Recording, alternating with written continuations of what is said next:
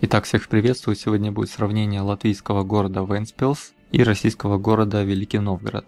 Само собой, население стран очень разное, поэтому и города будут иметь э, разное население. Но по масштабам это примерно похоже.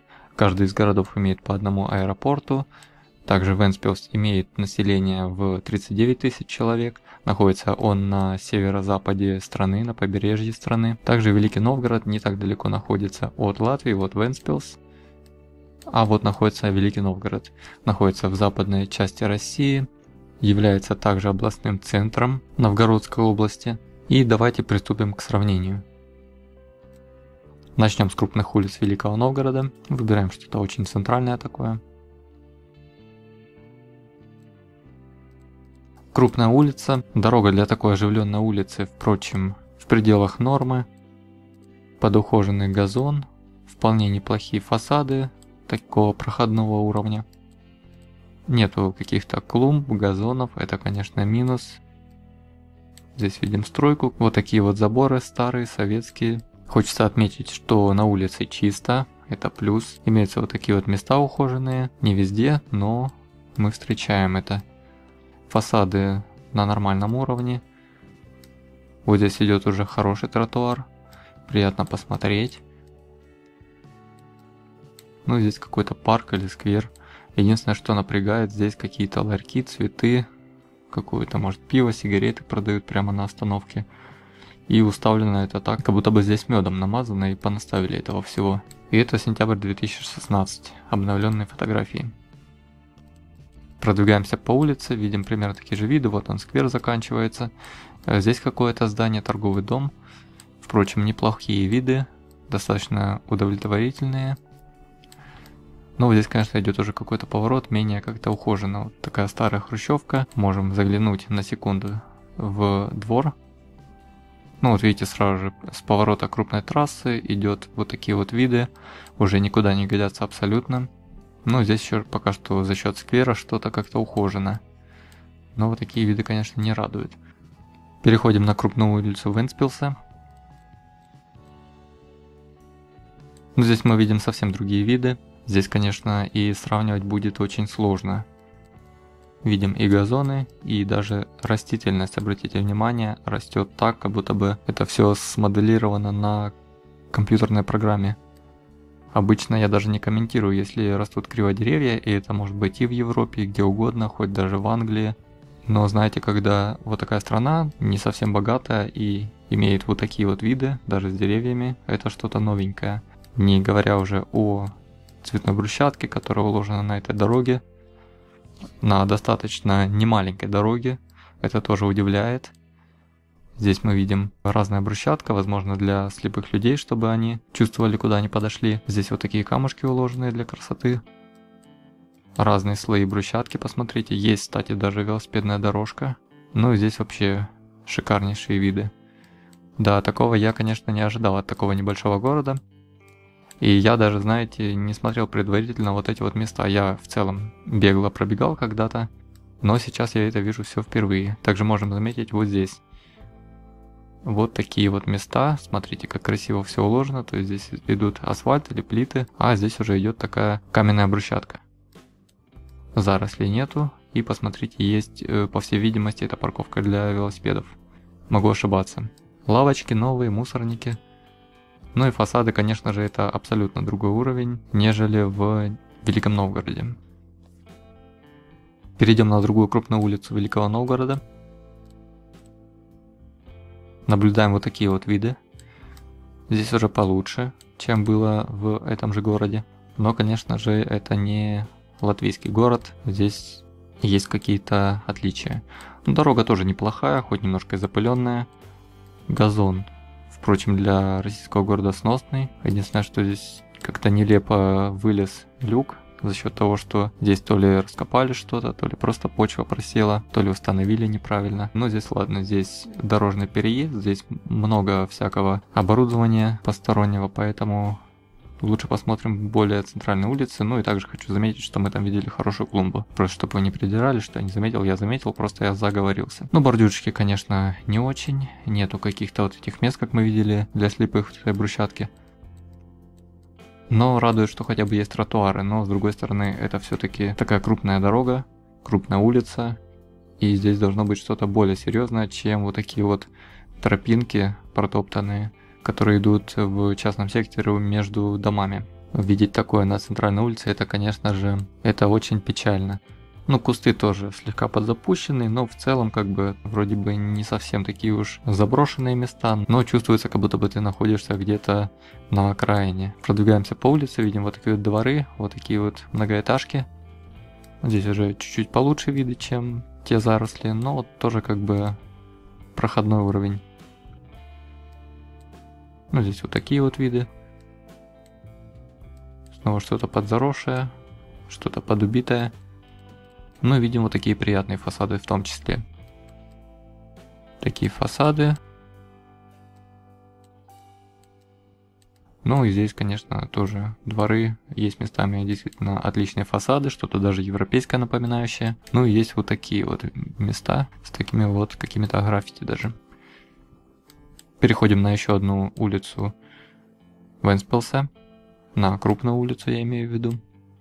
Давайте перейдем куда-то на другой берег.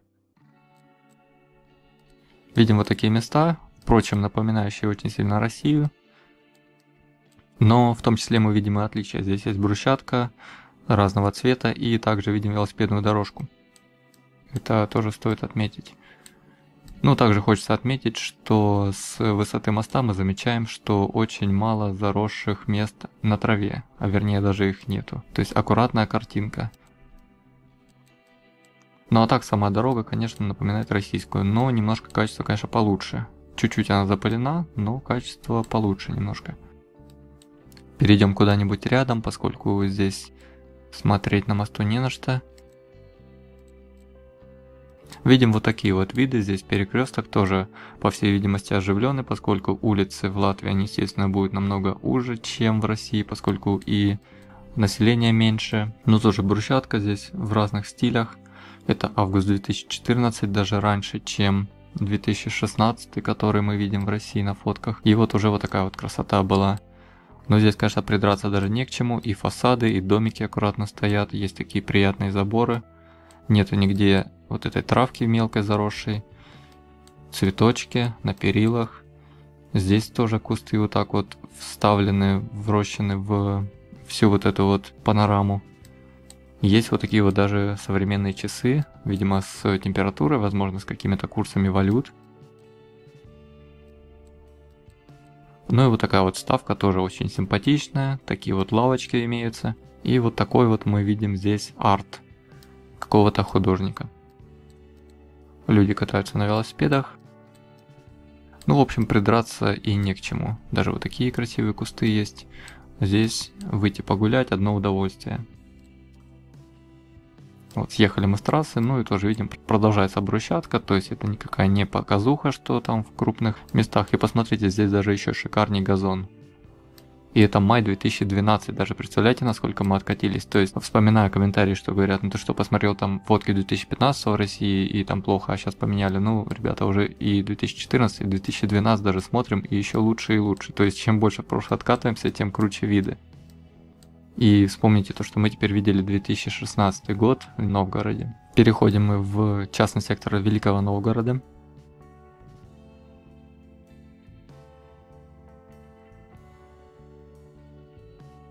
Здесь какие-то многоэтажные дворы, хрущевки. Стоят мусорники, впрочем, картина с одной стороны особо радует, но с другой стороны мусорники не самые плохие такие уж. Дорога, конечно, никуда не годится. Есть вот такой неплохой дом. Здесь как-то подухожено, это радует уже. Ямы на дорогах, конечно, это плохо. Травка тут тоже подзапустили. Вот есть красивый дом такой. Что-то вроде современного такого европейского. Вот тоже старая архитектура, российская, как я понимаю. Но здесь пеньки, какие-то углубления, это, конечно, могли бы и какие-то дорожные или городские службы повырывать это все. Или как-то это декорировать. Но продвигаясь дальше, мы видим вот такие вот виды. Здесь уже подзапущено все. И трава, и какой-то дом двухэтажный. Хоть и не самого худшего качества. Дома отреставрированы, это красиво смотрится. Мы уже видели этот дом только что. Здесь чуть-чуть получше картина, но тоже, конечно, немножко требует ухода. Ну и вышли мы в конец улицы, вот такие вот виды. Здесь вообще что-то непонятное. Что-то вот люди пьют, надеюсь, чай, не что покрепче. Тут мусор накидали. Дом тоже какой-то плачевный. Здесь еще какая-то организация находится. Какая-то контора, наверное. Такой вот забор. Тут тоже какой-то праздник. По всей видимости, кружка пива у него в руках. Вот смотрите. Сентябрь 2016. Люди средь бела дня до сих пор пьют. Ну, вот такие вот не очень веселые виды. Ну и давайте попытаемся найти частный сектор в Великом Новгороде. В южной стороне города было много многоэтажек, очень много хрущевок, поэтому вот наконец я нашел частный сектор.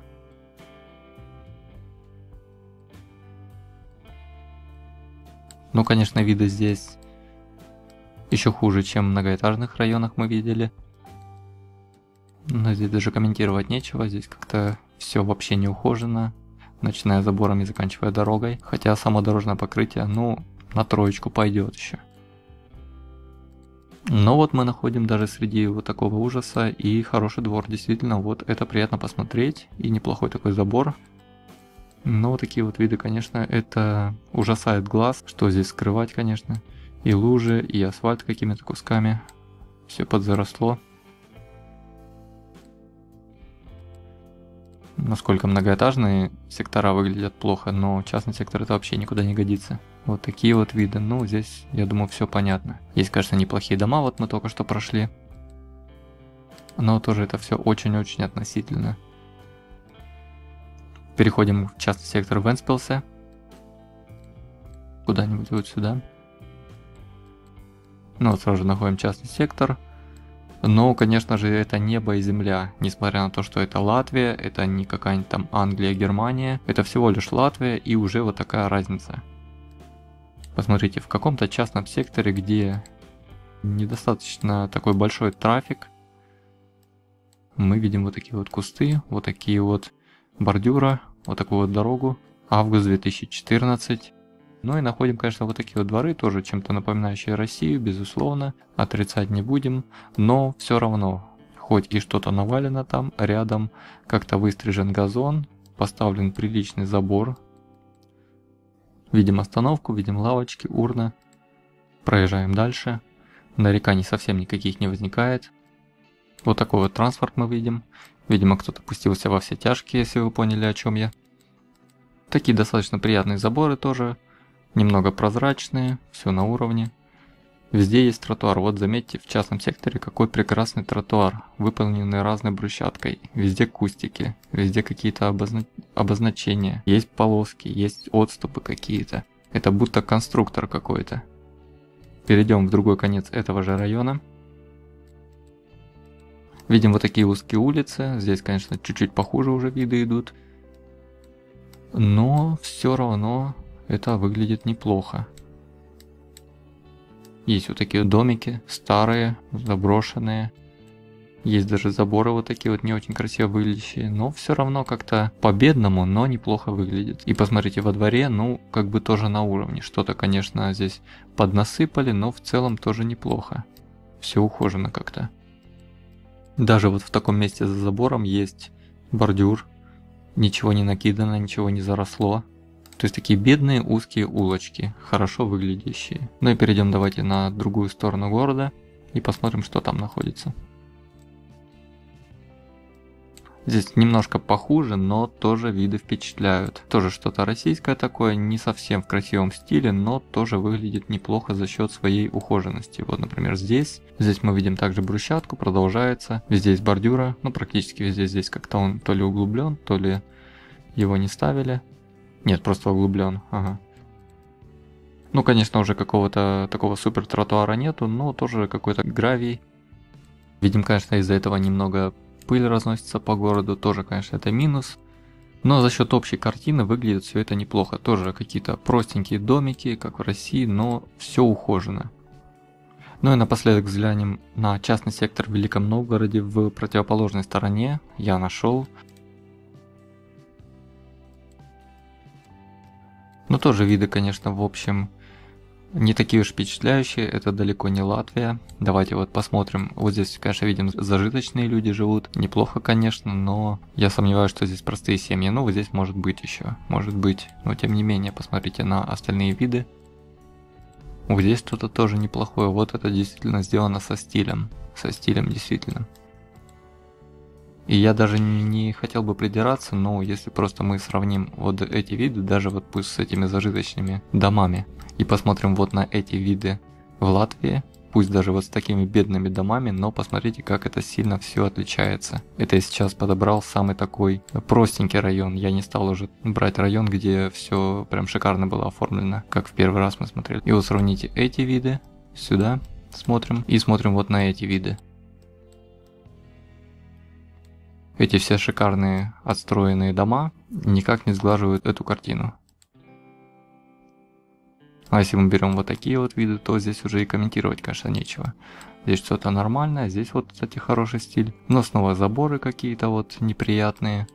Ну и здесь, конечно, я не знаю, как можно было завалить. Я удивляюсь, как вообще этих людей не оштрафовали. Мне кажется, даже в России вот за такую огромную гору мусора рядом, пусть не мусора, а стройматериала какого-то такого посредственного качества, мне кажется, могут даже в России оштрафовать спокойно. Ну и закончим мы на такой красивой картине возле маяка в море у Венспилса. Рассказывайте о моих видео друзьям, знакомым, распространяйте мои видео в различных сетях. Также не забывайте нажимать колокольчик, чтобы не пропустить новые видео. Ну и пишите свои впечатления и советы под видео. До скорого, увидимся.